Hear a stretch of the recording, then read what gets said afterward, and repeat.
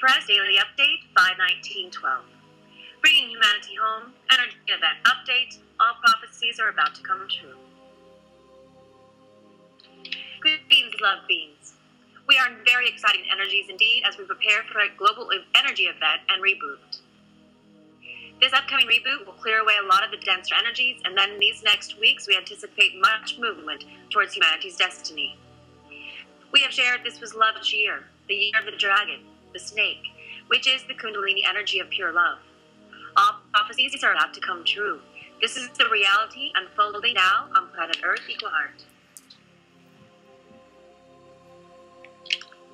The sun has quieted down right now. This could change quickly. Our earthquakes, on the other hand, after a quiet period, have been increasing. Japan is still rocking, and we are paying close attention to this area in the Ring of Fire. We also have a few volcanoes awakening we are observing as well.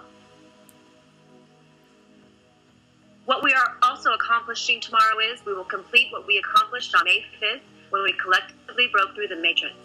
Now we activate and merge all timelines into one.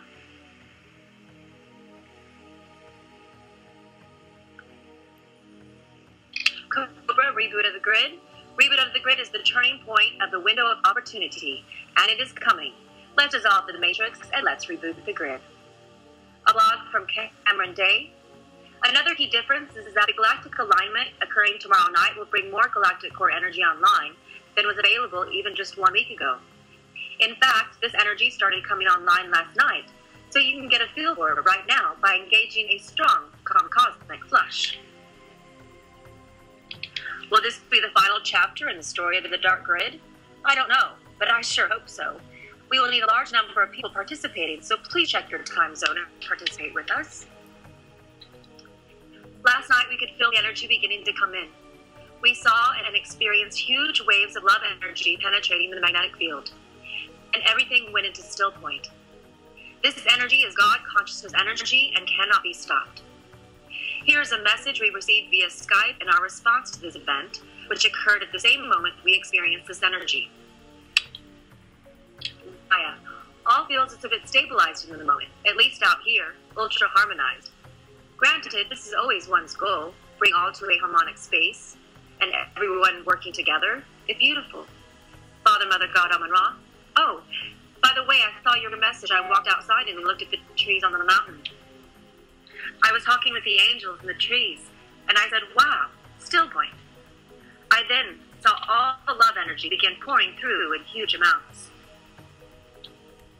Another event we experienced today was a rainbow in the daylight appeared above us in town. Unfortunately, we did not have our camera with us. However, when we came back, we read Dawn's experience about the song Somewhere Over the Rainbow.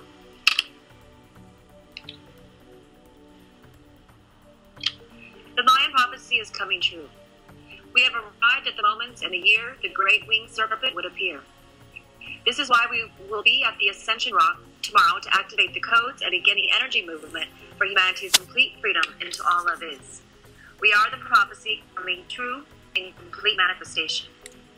Mayan prophecy, the return of the jaguar serpent, the center of the sky, the sun and Pleiades conjunction on May 20th, Quetzalcoatl manifestation, the Mayan Lord predicts that after a global earthquake, the new man of knowledge will return to Earth and usher in global government.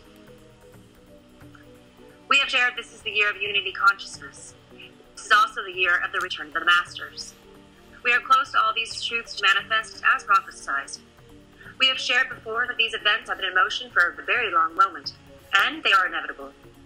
The gods are returning. Decreed by heaven, all prophecies of love are to come true into manifestation. The gods are returning as prophesied. This is the divine plan manifesting now on planet Earth, equal heart.